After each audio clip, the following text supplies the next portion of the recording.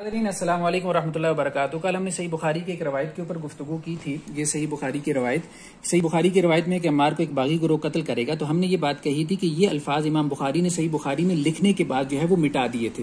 तो सही बुखारी का एक कलमी नुस्खा मैनुस्क्रिप्ट हमने दिखाया था कि जिसमें ये अल्फाज नहीं है। तो असल में सही बुखारी की रवायत क्या है कि अल्लाह के रसलम ने कहा कि अम्मार पे अफसोस कि अम्मार मुशरकिन मक्का को जन्नत की दावत देते हैं। किसको दावत देते हैं? मुशरकिन मक्का को। और मुशरकिन मक्का अम्मार को जहन्नुम की तरफ़ बुला रहे हैं। अफसोस किस बात पर कि वो इनको जन्नत की दावत दे रहे हैं और उन्होंने अम्मार को जो है वो आजमाइश में मुबतला किया। आल यासिर के ऊपर क्या कुछ बीती है वो सबके लिए वाजिया तो उस पर रसूल ने अफसोस का इजहार किया।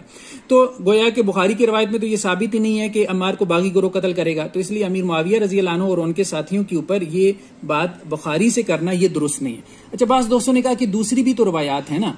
चलें, दूसरी रवायात देखते हैं। दूसरी जो कुतुब अहादीस में है, जैसा कि सही मुस्लिम में रवायत है। तो सही मुस्लिम में जो रवायत है, इसमें यह है कि ये अल्फाज अल्लाह के वसलम ने गजब खंदक के मौका पे कहे। ये अल्फाज गजब खंदक के मौका पे कहे। गजब खंदक कब हुई? पाँच हिजरी में। अच्छा सही बुखारी की रवायत क्या कहती है कि ये अल्फाज अल्लाह के रसलम ने कब कहे? मस्जिद नबी की तामीर के मौका पे। यानी ये जो खिताब हुआ है ना, ये खिताब हुआ है हज़रत अम्मार से मस्जिद नबी की तामीर के मौका पे। और ये कह और वो हुई वन हिजरी में, एक हिजरी में। और ये हदीस सही मुस्लिम कह रही है कि गजब खंदा के मौके पे दोनों में कंट्रडिक्शन आ गई। अब किसको हम तरजीह देंगे, किसको प्रेफर करेंगे, ये हम आगे चल के जो है वो बात करते हैं। इससे पहले हम सही मुस्लिम की एक और रवायत देख लेते हैं। ये हज़रत उम्म सलमा रज़ी अल्लाह से रवायत है। अब हज़रत उम्म सलमा से जो रवायत है कि अम्मार को एक बागी को कत्ल कर गया। हज़रत उम्म सलमा तो चार हिजरी में रसूल सलम की जोजियत में आई हैं। अगर हम सही बुखारी की रवायत माने कि ये मस्जिद नबी की तमीर का वाक्य वो एक हिजरी में हुआ। हज़रत उम्म सलमा तो उस वक्त मदीना में नहीं आई थी, ठीक है? और अगर हम कहें कि ये पाँच हिजरी का वाक़ है, सही मुस्लिम की रवायत के मुताबिक गजब खंदक के मौका का तो उस वक्त भी गजब खंदक के मौका पर रसूल सल्लम ने अपनी अजवाजी मुताहरात को क्या किया था? सबको हज़रत हसान बिन साबित के किले में जो है वो, उनको नजरबंद कर दिया था और वहाँ पर हज़रत हसान बिन साबित जो है वो पहरादार थे। ये बात सीरत बिन इसाक, सीरत बिन इशाम जो उसके प्राइमरी सोर्सेज हैं सीरत के, उन सब में ये बात मौजूद है। तो उम्म सलमा रज़ी अल्लाह तो खंदक खोदने वालों में शामिल ही नहीं थी। तो उन्होंने खंदक खोदने के मौका पर रसूल सल्लम से ये बात कैसे सुन ली? क्योंकि हदीस कह रही है, खंदक खोदने के मौका पर यह कलाम हुआ है। ठीक है? तो गोया कि हज़रत उम्म सलमा रज़ी अल्लाह जो है, वो कैसे सुन सकती हैं, ये एक क्वेश्चन है। फिर देखें, सुनन तिरमजी की रवायत क्या है? हज़रत अबू हुरैरा से है कि वो ये कहते हैं कि अल्लाह के रसूल वसल्लम ने ये बात कही कि अम्मार के लिए बशारत हो। एक बात तो ये हो गई, यहाँ कंट्रडिक्शन आ गई कि यहाँ बशारत के अल्फाज आ गए। चले इसको भी आप छोड़ दें कि अम्मार को एक बागी गुरु कत्ल करेगा। हज़रत अबू हुरैरा, सबको पता है, सात हिजरी में इस्लाम लाए। तो बुखारी की रवायत कह रही है कि एक हिजरी में खिताब हुआ, मस्जिद नबी की तामीर के मौका पे। सही मुस्लिम की रवायत कह रही है कि पाँच हिजरी में खिताब हुआ, गजब खंदक के मौका पे। और हज़रत अबू हुरैरा इस्लाम ने सात हिजरी में तो उन्होंने अल्लाह के रसोल से ये बात कैसे सुन ली, ये एक सवाल पैदा हुआ। चलें जी, और रवायात देखें। अब ये एक मुसनद अहमद की रवायत है। मुसनद अहमद की ये जो रवायत है Abdullah bin Amr bin alas से, ठीक है? कि वो कहते हैं, मैंने रसूल से सुना कि अम्मार को जो है वो एक बागी गुरु जो है वो कत्ल करेगा, ठीक है? इस पर हज़रत अमीर मुआविया ने कहा था कि हमने उन्हें नहीं कत्ल किया, कत्ल तो उन्होंने किया जो लेके आए हैं, ठीक है? यानी हज़रत अली और उनका जो गुरु रज़ी अल्लाह ये हज़रत अमीर मुआविया रज़ी अल्लाह ने एक जवाब दिया। तो अब यहाँ पे रावी कौन है? Abdullah bin Amr bin al-As Abdullah bin Amr bin al-As जो है, वो सात हिजरी के बाद मदीना में आए हैं, ठीक है? सात हिजरी के बाद जब वो मदीना में आए तो अल्लाह के वसलम से उन्होंने ये हदीस कैसे सुन ली? क्योंकि ये हदीस सही बुखारी के मुताबिक एक हिजरी का वाक्य है मस्जिद नबी की तामीर का और सही मुस्लिम के मुताबिक पाँच हिजरी का वाक्य है गजब खंदक के मौका का। तो अब ये सात हिजरी में इस्लाम कबूल करके जो है वो मदीना में आ रहे हैं। तो कैसे अल्लाह के रसूल वसल्लम से सुन सकते हैं? ये एक और क्वेश्चन हो गया।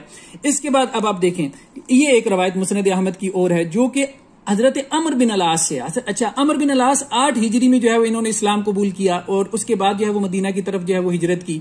तो अब ये कैसे अल्लाह के रसूल वसल्लम से सुन सकते हैं आठ हिजरी में, जबकि ये गुफ्तगु हुई है या तो एक हिजरी में या फिर पाँच हिजरी में, ठीक है?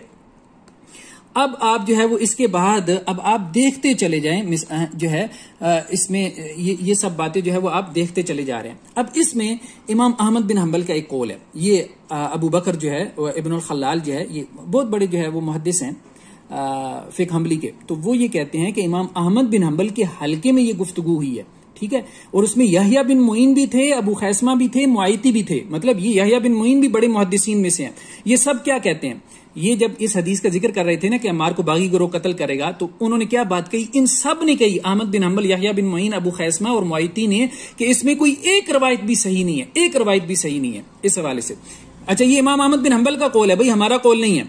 इसी तरह ये कहते हैं कि इमाम अहमद बिन हम्बल से ये बात रवायत की गई है कि वो ये कहते हैं कि ये ये सही सनदों से है, इमाम अहमद बिन हम्बल से ये अकवाल, कि 28 रवायतें हैं, समानिया वशरून हदीसन अमार को बागी गुरो कत्ल करेगा, इस बारे में कितनी रिवायतें अट्ठाईस। लेकिन उनमें से कोई एक हदीस भी सही नहीं है, ठीक है?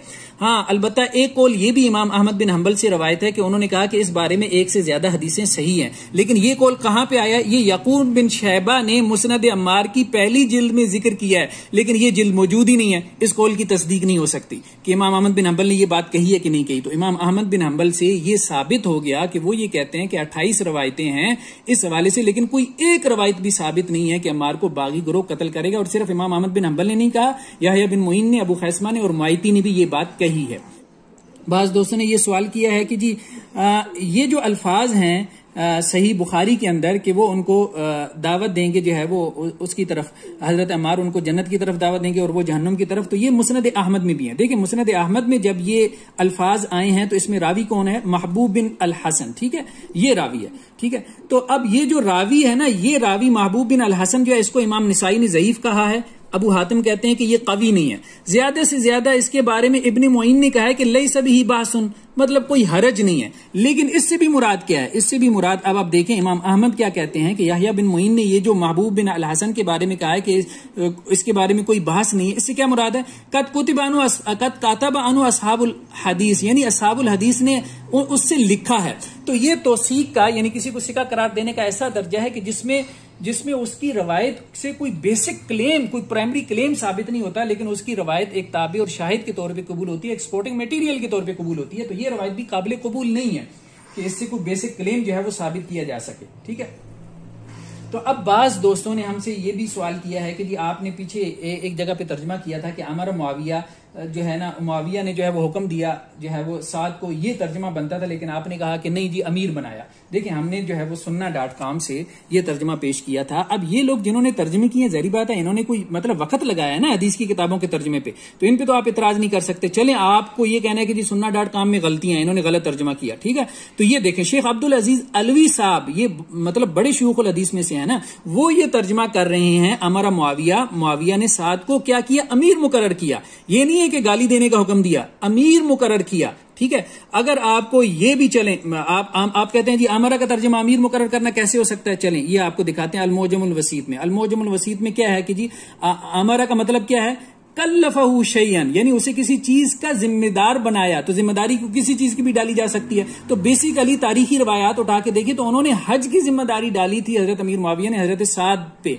तो इस माने में ये अमीर, चलें, आपको इससे भी जो है वो सुकून नहीं मिल रहा तो ये सुनन तिरमजी की रवायत देख लें। सुन तिरमजी में वाज अल्फाज आ गए अमरा मुआविया, यानी बाब तफील से आ गए, जिसका माना यही है, ये तो तस्वीर माखज हो गया, यानी अमीर बनाना अब वाब के अगर खवास की बात करें ना तो तफील का खासा क्या है? तस्वीर माखज तो अमीर बनाया हज़रत माविया ने हज़रत साद को। तो कहने का मकसद ये है कि मिर्ज़ा एंड कंपनी जो है ना, उनके पास तो कोई दलील नहीं है, सही बात तो अगर उनको कोई दलील मिल सकती है ना तो वो हमारी ये अहलदीस महक्क जो इनको बहुत ज़्यादा जो है ना, वो हक चढ़ा हुआ है। हक बयान करना चाहते हैं। वो भाई अगर तुम साल छह माह बाद अगर ये हक बयान कर दो ना तो कम अज कम मिर्ज़ा को दलील लेना पकड़ाओ। अब मिर्ज़ा के जितने फॉलोअर मुझे मुझे जो है वो ये मैसेजेस भेज रहे हैं। देखें जी, आपके अहलदीज ये कह रहे हैं, आपके अहलदीज ये कह रहे हैं। ठीक है? तो उन अहल हदीसों को भी दिखा दो कि सोनन त्रिमजी की ये जो रवायत है, ये देखें जी। ये सोनन त्रिमजी की जो रवायत है, ये देखें, ये सोनन त्रिमजी की रवायत सुन्ना डॉट कॉम पे देख लें, इसमें क्या अल्फाज है? अमरा मुआविया अमरा मुआविया, ठीक है? ये डॉक्टर अब्दुलरहमान फरीवाई साहब क्या क्या तर्जमा कर रहे हैं? ठीक है? ये तर्जमा क्या कर रहे हैं? कि ये उन्होंने अमीर बनाया। साद बिन अबी वकास कहते हैं कि मुआविया बिन अबी सुफियान ने उनको अमीर बनाया, उनको अमीर बनाया। ठीक है, कितने तर्जमे मैं आपके सामने पेश करूँ? कितने तर्जमों के बाद जो है वो आप जाके जो है वो मानेंगे? ठीक है तो ये बात समझने की जो है वो ज़रूरत है। तो गोया खुलासा क्या है? कंक्लूजन क्या है? कि बुखारी में तो ये अल्फाज नहीं है तक तो बागिया के अल्फाज नहीं है, ठीक है? वहाँ तो ये बिल्कुल कॉन्टेक्स क्या है कि ये मुशरकी ने मक्का से खिताब हो रहा है। बाकी जो रवायात हैं हदीस की मुख्तलिफ़ किताबों में, वहाँ ये जो अल्फाज आए हैं तो वो मरफून साबित नहीं है, वो मरफून साबित नहीं है, वो बेसिकली मौकूफ हदीस के तौर पर साबित है। यानी हज़रत अम्मा रज़ी की एक राय थी बस ठीक है, एक इश्तिहादी राय थी। अल्लाह के रसूल वसल्लम से ये अल्फाज साबित नहीं है। ये हमारी तहकीक है, हमारी रिसर्च है। अगरचे बाज अहल इलम ने उसको मरफू हदीस के तौर पर साबित माना है तो हमने कहा था, फिर उसमें बागी का माना क्या है? जो कम हक पे हो, बागी का माना ये नहीं है कि जो बातिल के ऊपर हो। अब एक दोस्त ने यह भी सवाल किया कि जी, अब आप कुरान हदीस से दिखाते हैं कि जी, ये लफ्ज़ जो है कुरान हदीस में इस माने में दूसरी जगहों पे इस्तेमाल हुआ तो एक लफ्ज़ कुरान हदीस में एक से ज़्यादा मानी में भी इस्तेमाल हो सकता है। देखिए, बात ये इसमें मुख्तलिफ़ अप्रोचेज है। हमारा एक डेढ़ घंटे का लेक्चर है इसके ऊपर। ये जो एटोमोलॉजी है एटोमोलॉजी है मतलब हिस्टोरिकल जो बैकग्राउंड होता है लफ्ज़ का, ये कैसे जो है वो सफ़र करता है? तो जो इमाम हैं कुरान और हदीस में